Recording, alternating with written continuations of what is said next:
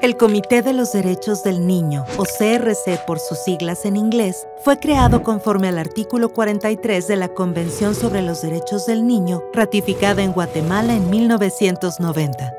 Es un órgano de 18 expertos independientes que se reúne en Ginebra, Suiza, con el propósito de supervisar la aplicación de la Convención por parte de sus Estados miembros.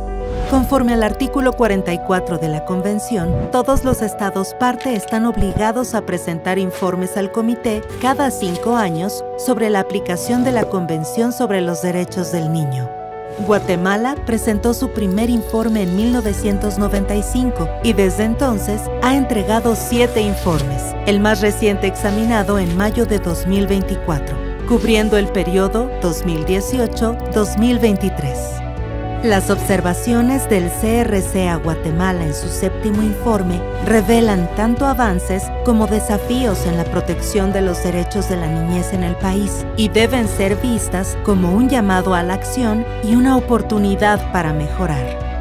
El informe destaca iniciativas positivas adoptadas por el Estado de Guatemala, como la adopción del Plan Nacional de Prevención de Embarazos en Adolescentes, el establecimiento de la Comisión Intersectorial de Tecnologías de Información y Comunicación, así como la creación de una comisión interinstitucional para la implementación del Sistema Nacional de Certificación de Personas con Discapacidad. Sin embargo, el comité también ha identificado cinco áreas que requieren atención urgente y ha emitido recomendaciones específicas al Estado de Guatemala para cada una de ellas. Estas son las siguientes. 1. Discriminación estructural contra los pueblos indígenas y afrodescendientes adoptar medidas para enfrentar las causas de la discriminación estructural contra los pueblos indígenas y afrodescendientes, fortaleciendo la legislación y adoptando políticas para combatir la pobreza y exclusión social. 2. Causas y consecuencias de la violencia, incluida la violencia sexual y de las pandillas juveniles impulsar leyes y programas para prevenir y atender la violencia sexual, crear y ampliar servicios de protección especial y adoptar estrategias integrales para prevenir el reclutamiento de niños por las pandillas juveniles y su reintegración social.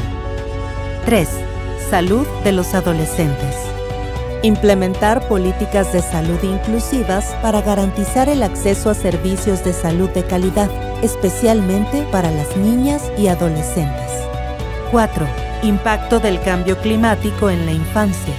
Dada la alta vulnerabilidad de Guatemala ante desastres naturales, asegurar que las políticas climáticas consideren las necesidades de la niñez incorporar la preparación ante el cambio climático en el currículo escolar y la capacitación para maestros.